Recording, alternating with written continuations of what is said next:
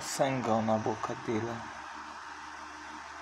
Eu vou parar. Dei uma amolecida. Tá bem molinho. Amanhã eu continuo. Tá.